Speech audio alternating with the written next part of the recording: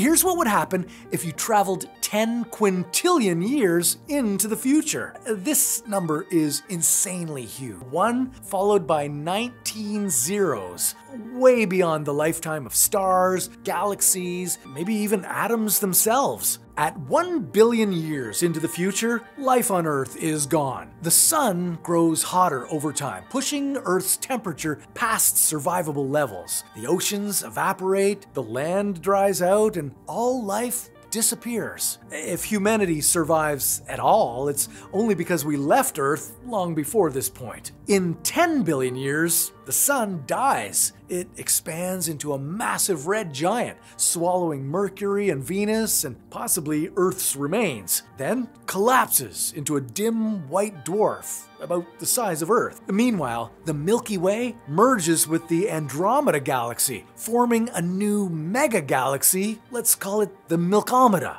Our solar system might get flung far away from where we are, or even ejected entirely. At 11 billion years, star formation slows. Galaxies still shine, but they're running low on hydrogen, fuel needed to create new stars. Big stars die explosively. Small stars burn through the last of their fuel, and the universe begins its long fade into darkness. At 100 trillion years, the stelliferous era ends. No more stars are born, all existing stars have died, leaving only white dwarfs, brown dwarfs, neutron stars, and black holes. The universe is lit only by the faint glow of these fading remnants. If anything like humanity still exists, it would need artificial energy sources or gravity scale engineering to survive. And finally, 10 quintillion years from now would be the degenerate era. The universe would be a cosmic graveyard. White dwarfs cool into black dead spheres.